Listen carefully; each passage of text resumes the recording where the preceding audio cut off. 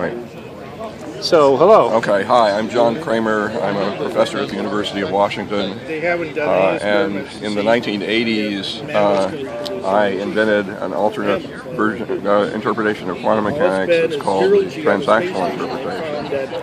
And the basic idea behind it is that if you look at the formalism of quantum wave mechanics, uh, there are these uh, wave functions called psi, that use the symbol psi, and there are equal numbers of, when you're doing calculations, of the complex conjugate of those wave functions, given the symbol psi star. and if you take a wave function that looks like e to the minus i omega t, which is the usual form, and take its complex conjugate, you get something that looks like e to the plus i omega t and you can interpret that as being a, an advanced wave which is going backwards in time instead of, uh, and carries negative energy backwards in time rather than a, a normal wave which carries positive energy forward, forwards in time. So uh, the transactional interpretation takes that seriously based on the ideas of Wheeler and Feynman who had a an, uh, classical electrodynamics that worked in more or less the same way, uh, and envisions that in any quantum mechanical uh, process that transfers mass and energy and momentum and uh, other conserved quantities, that uh, the there's a handshake between a retarded wave going from the past to the future and an advanced wave ratifying the transaction going from the future to the past, shaking hands and, and tra transfer and arranging for the transfer of energy in much the same way that banks transfer money by sending messages back and forth over the internet. So how far does this transaction occur? How far apart physically? It doesn't matter. Uh, Across the universe? It could happen light years away. And um, how do you... In, in other words, if I look up in the sky and look at a star, uh, and see light coming from the star. The light is shining in my direction at some level because advanced waves from my eyes have gone back to the star and shook, shaken, shaken hands with certain atoms and molecules and directed the light in my direction. So, can you send information across the uh, transactional model? Um, the, the there, there's an issue of causality which is difficult to deal with. The, the, the transactional model is a little looser in terms of of forbidding uh, uh, retrocausal processes and the, nor the, nor the normal Let me way back of saying things. When you say there's a problem with causality, what uh, you're not saying that causality is a law that, that only causal things can happen, are you? I'm saying that if you want, uh, uh, let's see how to say this, if you want the uh, if you want to preserve normal causality in, in the context of the transactional interpretation, you have to say that certain things are allowed and other things are not allowed. In other words, that, that after the uh, handshake takes place, there's no residual advanced effects that, uh, that are left over that allow you to send uh, backwards in time messages. That's not that's not implicit in the formalism, but it's something that you sort of have to put in by hand if you want to get ordinary causality. As far as I'm concerned, it's something that should be experimentally tested. Yeah. Um, well, it seems to me the causality is a nice idea, but to, to say it has to be, nature has to be causal, I mean, there's a lot of other weird things that we're discovering in quantum, so why are we. Why are we restricting our observation to causal effects? Yeah, another way of saying it is that, that causality is probably the least well understood law of, of, physics that we. Uh, Is there such a thing as a law of causality? Well, I think people talk about the law of causality and apply it in, in, in, as if it were a law. But there's nothing but foundational it, about it, is there? It's something you have to put in by hand uh, in order to match observations that we see that, that causes, in general, precede their effects. Um, well, but that's because we have observational mechanisms that assume causality. It's like saying time flows forward because all the clocks in the world go forward.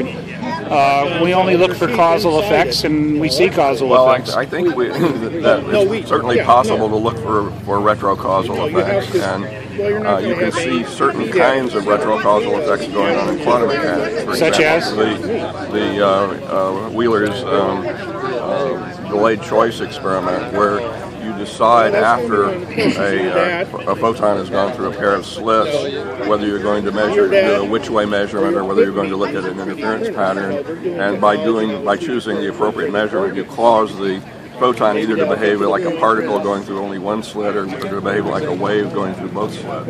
And what what's the duration? How far backwards in time does that? Well, Wheeler claimed Wheeler pointed out that you could do this with light going around, uh, being uh, uh, gravitationally deflected by a, by a distant galaxy and use that in place of a pair of slits. And so Yeah. you, could, you could do it over millions of, you could do it, do it with a separation distance of millions of light years.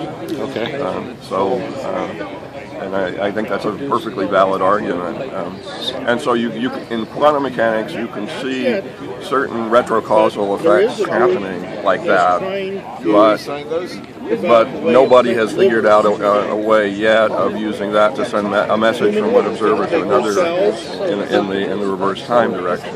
Is that is that restricted by some quantum observational conservation of energy or whatever? I don't know. I don't think so. I mean, So there's nothing. I, I think you can you can show if you take Einstein Podolsky Rosen experiments, uh, which have been done with polarization measurements on uh, on two entangled photons, you can show mathematically that it's not possible to use those polarization measurements to send that sort of information.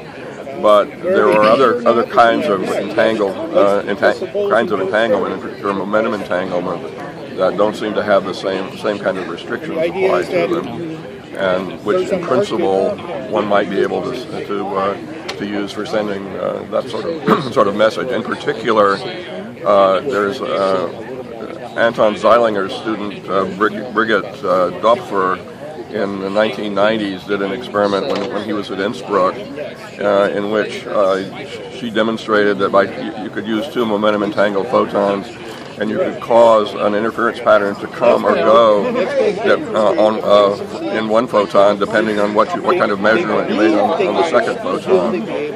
And, that, in principle, would allow you to send uh, uh, uh, messages using quantum non-locality, except that the experiment was done with coincidence measurements, and you'd have to get rid of the coincidence requirement before before, the, before you could claim that, that this was some kind of non-local signaling. So you have an experiment that you're trying to get to demonstrate.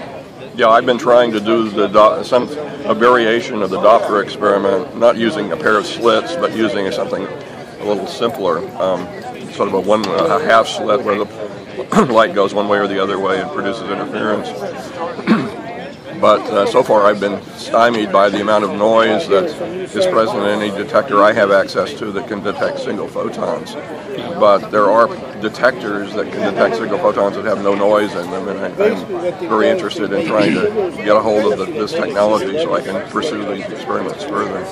But you've been also doing research in time travel paradoxes and uh, Not really. I mean, the the, the, I, the time travel paradox business. Uh, well, okay, you're talking about writing it up, or you're talking about doing experiments about well, it? writing it up our previous I- for, discussion. for Mark Millis's book, Mark Millis and Eric Davis, Davis Davis's book, uh, I examined the implication. I, I wrote a, a, a chapter about the possibility of non-local communication, and I pointed out that if you could use non-local quantum non-locality to communicate, then in principle you could uh, uh, do you could create time travel paradoxes in the, sense of sending uh, information backwards in time.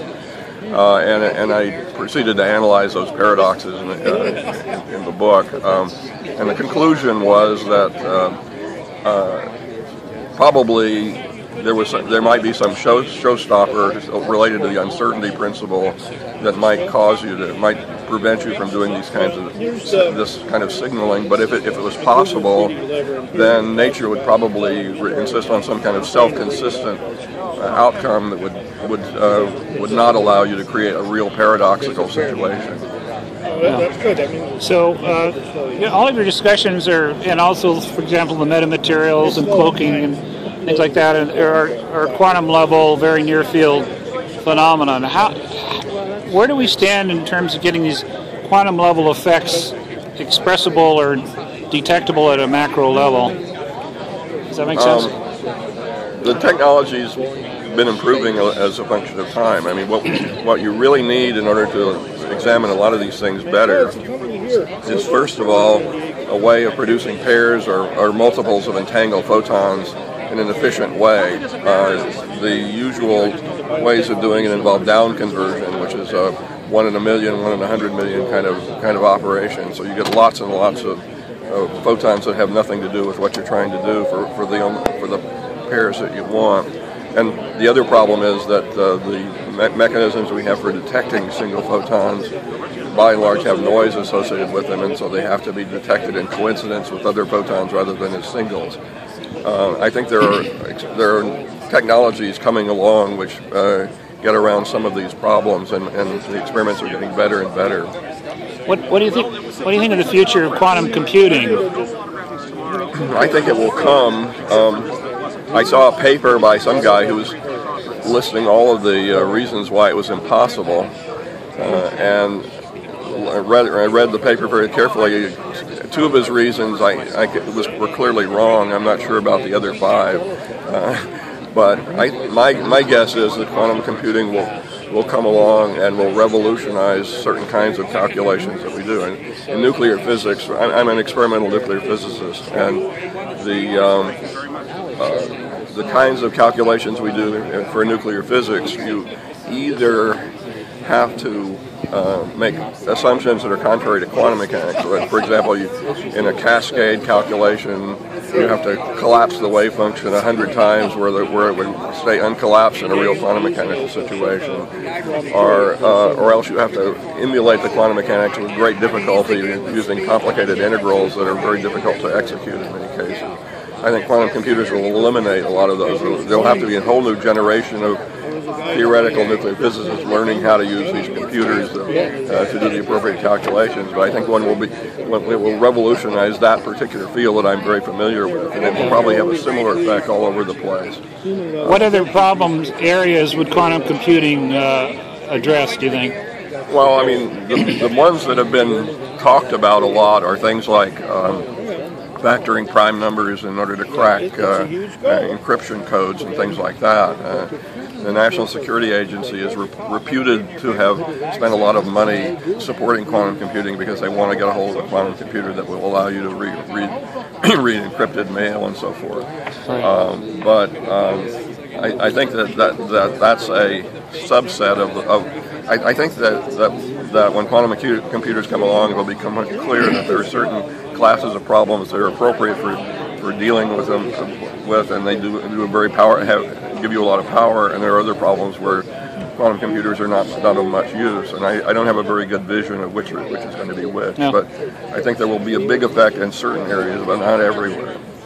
Let me get back to the causality consistency issue. If, if, if nature has a way of filtering retro information, uh, the information is going back to modify its own past, essentially, theoretically. Um, uh, and it has to maintain consistency, the number one, the easiest way to maintain consistency is enforce causality. Right. Time zero only goes one way. Right. But if it does go back, uh, you know, some of the ideas that I've had on, on, on this is that one, it, it, it could affect the probability distribution of some event in the past, so it's just a little bit more likely for the ball to fall on the left instead of the right side. Right. But it's not causal; it's still within the normal distribution. Well, what I, I, what I said in this article I was speaking of was that what might come out of being able to send uh, to do to do non-local communication was that you might be able to to uh, push probability distribution in a certain direction. Oh, okay. Uh, in a certain direction, in, in, a certain way, it will give you a very limited capability of manipulating probability. Okay. Um, and um, I don't know how important how how world shaking that would be, but it would be certainly an interesting thing to play with. Well, it would be something that would have to be done at a process that was done at very large scale, yeah. such as uh, conception and uh, genetic uh, coupling. So if it could affect uh, your genetic past and you could make it a little more likely for a fish to want to come out of the water onto the land, but it might be one in a million. Yeah, but I, I don't think you could do it. Right, I think it, it, would have to be done between the sender and the receiver uh, ends of the ends of the system, not something that goes back in time by okay. a million years or something. Yeah. Um, the other thing it would do, of course, is to eliminate the time delay in a lot of communication systems, so that NASA would be very interested in it because you could use you could drive a Mars rover around on the surface of Mars in real time rather than having to wait Sure. um, minutes or hours to make corrections and and have it uh, things to be autonomous. Um, Yeah. Well, in order for this to work, then you all you need is this the basic bootstrap back mirror, if you will, the the, the porthole into the future. The future would be a lot smarter for figuring out the, how to communicate. I mean, I mean, it could tell you to build a better mirror, or whatever. But um, so, but anyway, I mean, talk about all this uh, faster than light travel starships and stuff like that's going on here. Seems to me that uh, investigating the potential for time travel is is uh, very suitable for this this level of discussion. Yeah, I, not, not something I brought up with, with, with these guys, but uh, something I'd certainly like to talk about. They'd like to do hardware. given the occasion. Little but, green to- but, to- but tomorrow I'm, I'm talking about uh, reaching the stars by, by accelerating a wormhole to a high, very high velocities and shooting them at the stars, and using relativistic time dilation to get there almost instantaneously. So you fly through the wormhole. You, You send the send the wormhole there, send momentum-bearing particles through it to steer it uh, around where, Yeah. you, where you want it. You land it, and then you expand it and get out and, and explore the planet. I see. Uh, and how much energy does that take? Well, no, nobody knows because nobody. I mean, this is the, the exotic physics section, and the, the uh, exotic. What exotic physics means is that you need at least one visit for the tooth fairy in order to make it work. yeah, Vernor Vinge likes to say that you can only put one uh, violation of a natural law in his novel. So, Yeah, it's Well, like that. thank you very much. Anything else you want to say on the video? Not really. Okay, thank you.